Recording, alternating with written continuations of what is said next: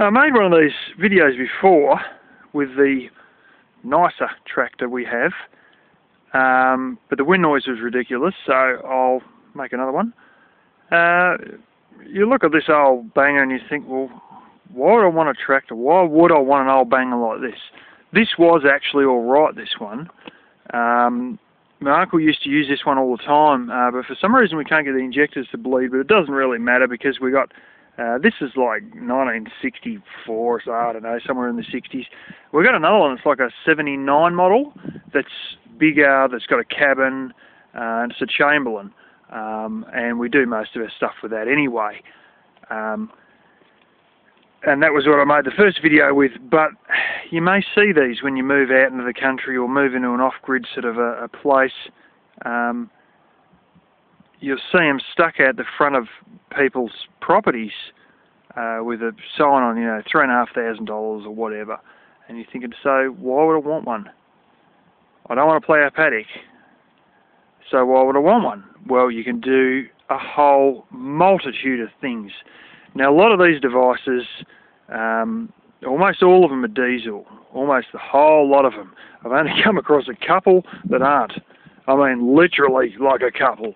Uh, I've actually seen one advertised. It was a petrol, um, but it was a different model, different brand altogether, different age.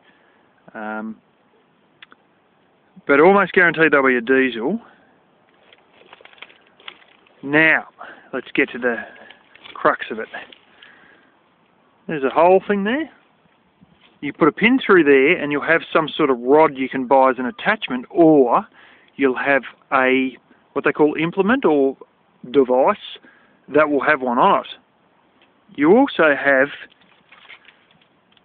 one you can't really see there, which is on an arm, which is the same as this one you can see, which is on an arm, which is able to be hydraulically lifted, which has adjustments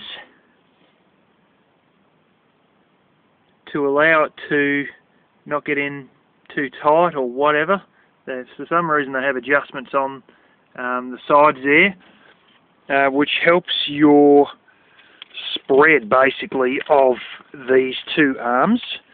And what they call this, this piece here, and that, and that, is a three-point linkage. Now, almost anything you can dream of will hook to a three-point linkage. I'm talking mowers, I'm talking backhoes, I'm talking forklifts, um, you know, bale grabs, whatever you want.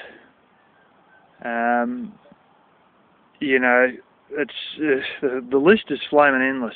And you can just go into these farm machinery places and buy these things. I've actually seen a backhoe attachment that would probably fit on this one or maybe the other one we got. $2,200 second hand. And then you can dig holes for your, your drainage, your posts, your your whatever. You know, if you got big trees you want to plant that you've bought that have been kept in a nursery for like five years and they're like, you know, six foot tall, well, why dig it by hand if you can get this thing to do it?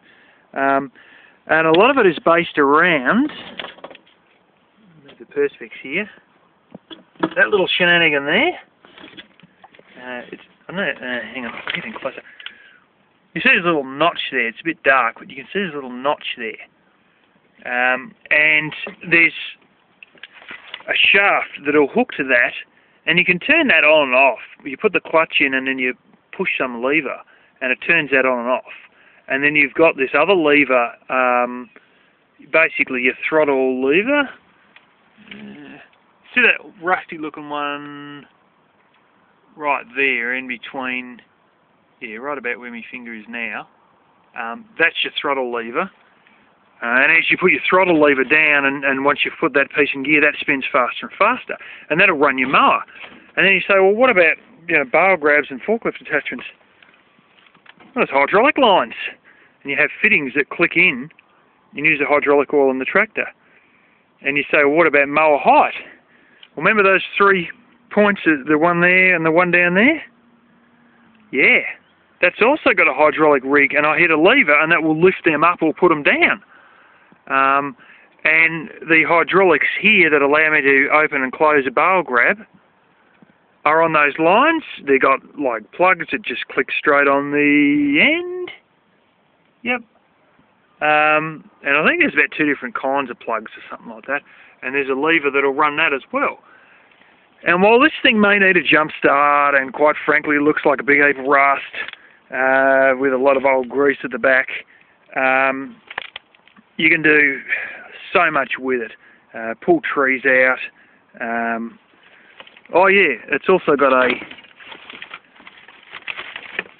like a normal towing point. And there you can put a ball in that if you want. Uh, but this one's like a bit of a U-shaped one. Um, so this is going to be very dark.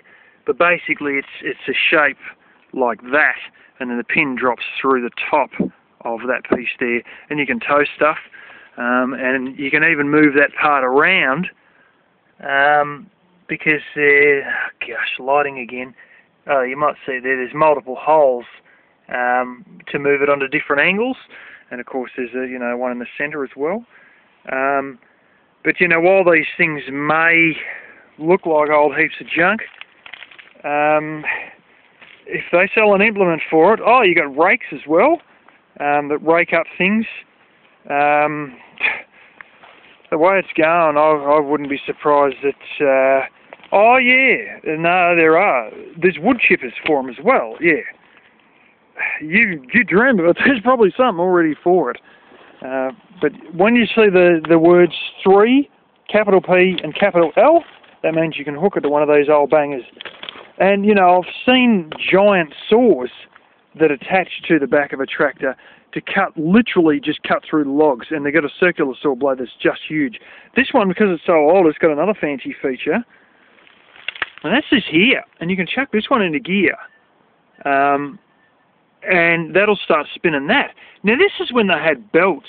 When there was old, uh, like giant chaff cutters, um, and a whole stack of other old stuff back in the day of, you know, like, hell, like early 1900s and stuff like that, they would run them on these big belts and they would have like a steam powered tractor with one of these and they'd drive it up into place and, you know, put the belt on and I, might, I don't know if they reversed it a little bit or they, they pushed the chaff cutter along a bit or what they'd done, but they'd have a belt.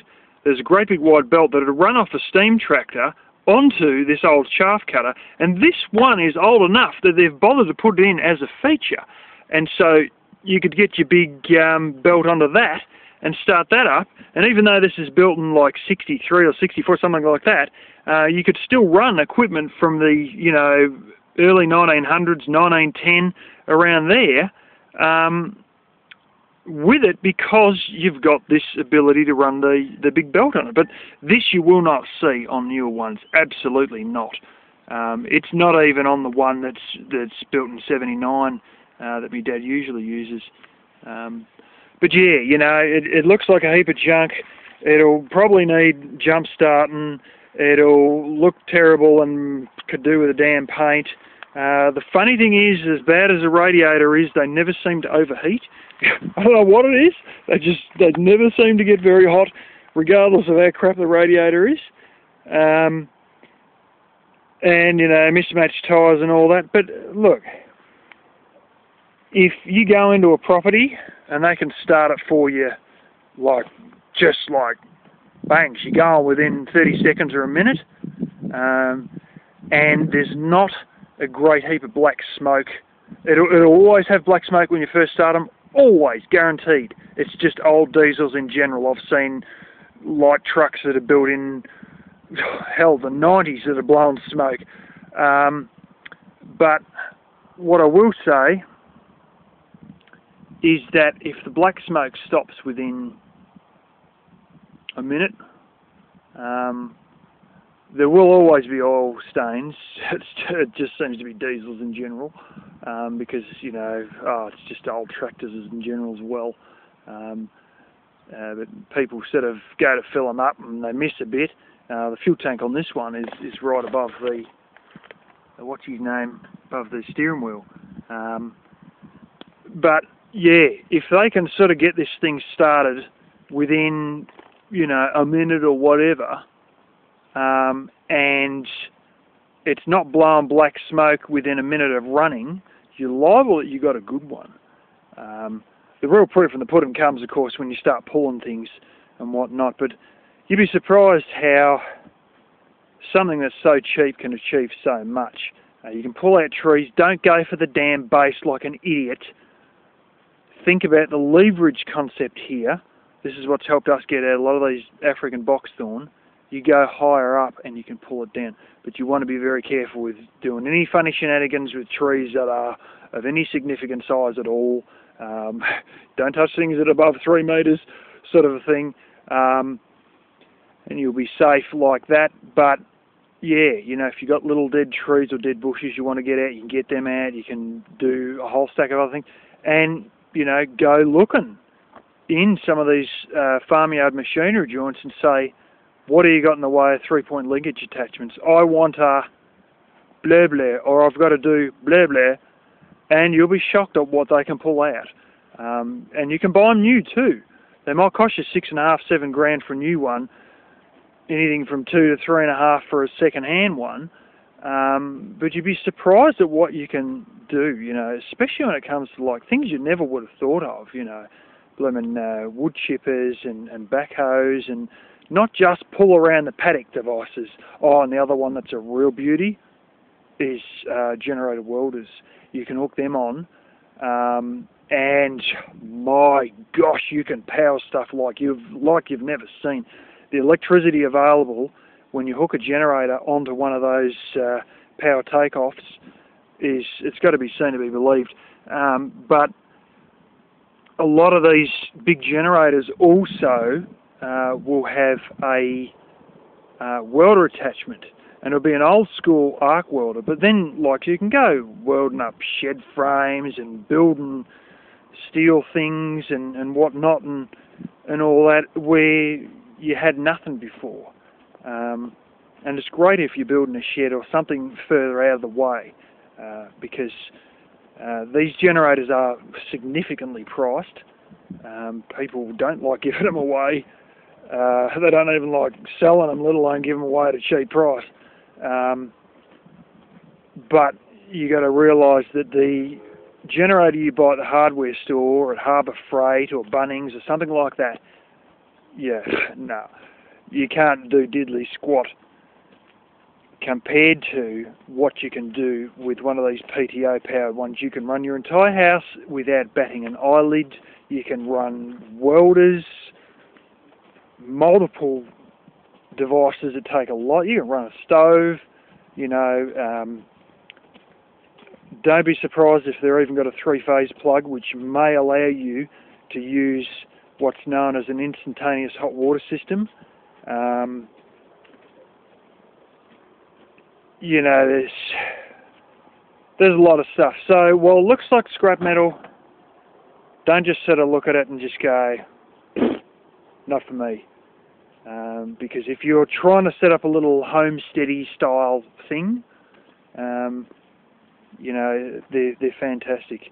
Oh, by the way, I've been digging through a few um, magazines of used machinery.